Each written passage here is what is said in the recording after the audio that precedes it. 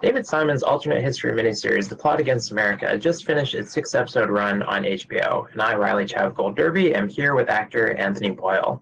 Now, you actually studied David Simon's The Wire in school, so I'm wondering how that education held up uh, when you're actually working on a David Simon show. Uh, what did your schooling get right or wrong? Um, they got a lot wrong. Nobody's joking. They uh, they got a lot right, but um, it was kind of strange, you know, because we we were shown the Wire as being the, the pinnacle of TV. In our second year, we were doing like a second year of drama school. We were doing this, um, you know, screen class where we would study the scenes and look at Dominic West and look at David and Ed's writing. And um, when a script came through to to be a part of something that they were making, I was um I sort of thought, well, I have to do this. You know, I've I've been in a way training for it for for years. Um, what do they get right? I think what what they often get right in their scripts is because they're so methodic about how they research and how they sort of they know every little nook and cranny of what's happening in the script down to the T of what matches a character would use to strike a cigarette that'll be period correct. That you sometimes think that maybe it's going to be so analytical that they won't have so much, you know, emotion invested in it. But the, the amount of love that's poured into the script, into every scene, into every little syllable is so apparent when you get it and you get another draft and another draft and another draft. And, you know, they've had arguments between each other about what comma will be put in or should it be a full stop. And once you sort of, you get to see it from behind the, the wizard's curtain, there's, um, there's so much more going on than just, oh, here's just a normal script, you know? Okay, so this show is based on uh, the Philip Roth book, uh, which you've read. So I'm wondering what conversations you had with the writers and producers about kind of what to disregard from the book because they were going to be approaching your character in a different way. Well, it's sort of it's interesting because Alvin in the book, there's a large part where he's just left alone, and you know the book is viewed through the eyes of a seven-year-old boy or something. So uh, Alvin is on the peripheral, and you don't really know what's going on. You only hear a little drips of information.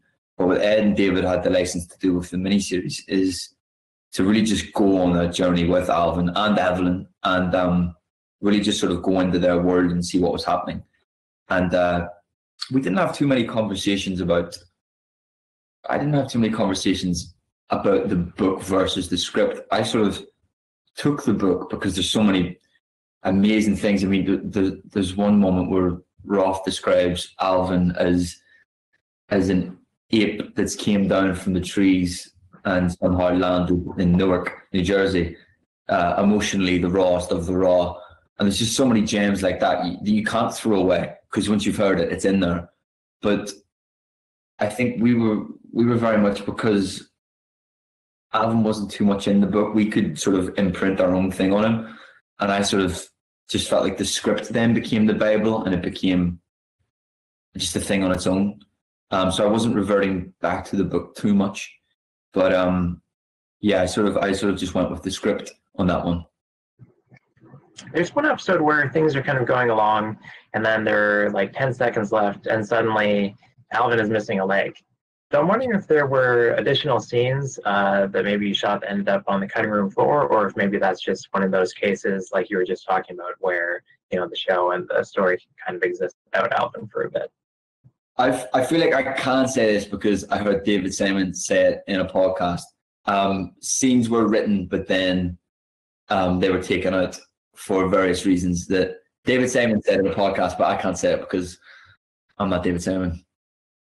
But yeah, there was there was there was more to that. There was more to that story. Um, but unfortunately, it was it was cut. Okay, uh, is Alvin a real person? I couldn't figure out because the you know the real Philip Roth, he's kind of writing uh, the story as if he's a child in this alternate history. But was Alvin yeah like a real relative of his? I, I didn't look into that at all. I just, as I said, I took a few things from the book, but just mostly just worked off our um our script and just really focused on what David and Ed were writing. Okay, the FBI, they tail Alvin because he's marked as a potential communist. Uh, so why is that? And did you find anything in your research about how that was such a thing? Yeah, I mean, there's so many people that sort of drove out of um, of their communities. I, I think what was what was um what was more interesting about all that was just like hard. Yes, it was framed in sort of the 40s and it was a, a, Jewish community, but when you looked at it universally, when you see the stories that are, are being told during the series, they could be anywhere in the world, you know. And I thought that that was that was one of the most interesting things for me.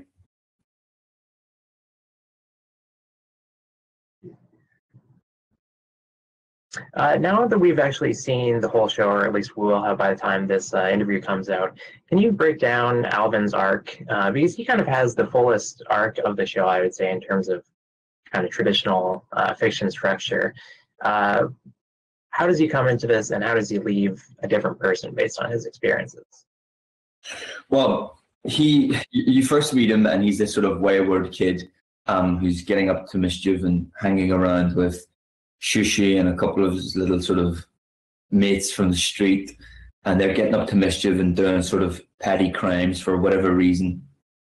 But underneath all that, I think what separates Alvin from the rest of those lads is his moral compass. He has a really strong moral compass that, you know, even if he's going to get a leg blown off, or even if he's going to go to jail for something, if he thinks it's right, he's going to do it if he's going to go and assault people, even though that's wrong in the eyes of the law, in his moral code and his moral compass, he thinks that's right. And um, I think out of anyone in the in the piece, he could be the most truthful because everyone else is trying to protect or trying to step on eggshells or trying to uh, manipulate someone through some way, but he's he's really he's living his truth um, to the best of his ability in the first three episodes um, and I think war changes him. I think I, I, spoke a lot with this lad who um, had lost his leg in Iraq, um, not just about the physical problems that that would bring, moving around and stuff, but the emotional problems that that would bring, um, shame, embarrassment. And when I, when I met with him, it really made me um, see the last three episodes very differently. Uh, Alvin, I think, ends up becoming a sort of opportunist um, with his relationship with um, Minna. And I think he sort of manipulates her because he sees that her father has prospects for him and is, is very rich. And he uses that relationship to then become this, what we see him in that last scene is um, Steinheim, you know, the, the, who he sort of rebelled against and, and hated in the second episode. I think in that last scene, he, he comes in in those flashy suits and he's talking about money and all these things that he, he, that he rails against in the second episode when he speaks to him and before Bess comes in with the promotion. And um, I think when you speak about that arc, I think that's that's a pretty full arc. You know, he he wants to rebel against this thing that he ultimately becomes. Um, I think it's very tragic. It reminded me of the inspiration for a show of one of David's others called Show Me a Hero. I think it's is it Fitzgerald um, Show me a hero and I'll write you a tragedy. I really felt that with Alvin's arc and Alvin's storyline that you know he, he he tries to be a hero. He he wants to go for what's right for whatever reason, and ends up maybe one of the most tragic characters in it. Yeah, that's uh, that's all pretty weighty. Uh, what would you say was the most challenging aspect of this role for you? Um, it was my first time doing an American job, so like I was constantly a bit um worried about the accent. I was I was worried that people were going to say, you know, he's he can't do an American accent very well. Um, but the most challenging was probably when we shot all the stuff from episode four to six I had um a sort of thing that we found online, like a leg brace, and then I would get one of the medics to roll up my ankle so there was no um so the joints wouldn't move. So it was just completely straight. So from morning, noon, and night, it was just so frustrating trying to trying to move around and get around. Um, that was that was challenging to try and, but it was it was good because it it made me feel what Alvin would feel. Um, just that frustration and constant sort of anger. Um, but to be honest, like with, with a script this good and HBO behind it, it's like there wasn't really anything that was really challenging because they just they supported you in such a way that that you, you couldn't really um you couldn't have asked for a better team. So it wasn't as if um you know there was like a diva or something on set that was that was getting in the way. It was just it was just it was really sort of easy job. You know, it was it was a joy to go to work. You mentioned the accent. Were there any uh, words that stood out to you? Yeah, man, I couldn't say um because I I'd never heard this word. I'd only seen it written. Um, Maryland. I kept saying Maryland, and they were like, "That's not right." And then I couldn't get it in my head that it, that Maryland was Maryland because I'd only seen the word written. That was the word that really that really annoyed me. Um, but other than that, no, I think I think we are pretty good. All right. Uh, what, what were your uh, takeaways in terms of the culture and uh, the time period that the show takes place in? It was really cool, man. Like, I, I sort of was accidentally embedded in Jewish culture a year before we started. I was doing a play on Broadway, and there was I had like five Jewish mothers on that show. Um, Katie Kreisler, one of the actresses who would get me matzo ball soup when I felt sick, and and I and I really started to to feel that the, the Jewish culture was a lot like Irish culture in um the respect of the big families and very caring and very loving. But it was really interesting to dive into it more deeply um, with with this. You know, I, I went and I done my first Passover, and um, we, we read all these speeches about immigration, and I just loved it. I thought it was just so rich and, and beautiful and very family orientated.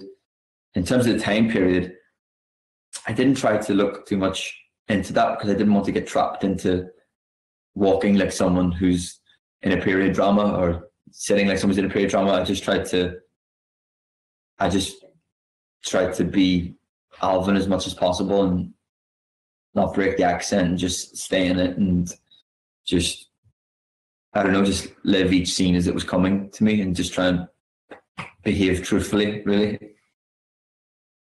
So this interview is part of your Emmy campaigning for uh, nomination for Outstanding Supporting Actor in a Limited Series or Movie. Uh, but with you being the first male in the credits, uh, why not submit in leads like your co-star Morgan Spector? Um, I haven't got a clue about any of that, mate. Yeah. I, have just been asked to do interviews, and I'm, I'm with the interviews. Um, I don't get to choose who's in the credits. I I, I don't know. Man. Although I like the credits are pretty cool though. I like I like the start of them. Yeah. Uh, so you actually did another webcam interview uh, a couple weeks ago, and when you came on, the host he asked how you are, and you're like, "Oh yeah, things are great. I just went vegan, uh, which I was not expecting." And then there was just no follow up from the interviewer, which I get because you know sometimes you just want to stick to the script. So yeah, you're fantastic in Plot Against America. But yeah, I was wondering if you could actually uh, expand on that. So my brother is a vegan. He's been vegetarian for like seven years or something, and he went vegan like two years ago. And I could never really do it because I love milk, and um, I used to drink pints of milk as a young boy. Um, but he came back and because we're all in quarantine and we're all sort of stuck in the same house with one another. I just thought it would be a good thing to try. Um, and it's been going well so far. It's been really good. I feel, um, I feel like I've got more energy. I don't know if I'll stick to it. I, I must admit, um, maybe go back to being vegetarian or something. But it's uh, yeah, it's good. I would urge everyone to give it a go for uh, a week. It's been um, it's been good fun, and we're all trying to make stuff, and yeah. Okay, so that chat was also kind of uh, derailed by uh, Tiger King, because you said that it was the uh, you know the best piece of art that you'd seen in years, the best documentary that you'd ever seen.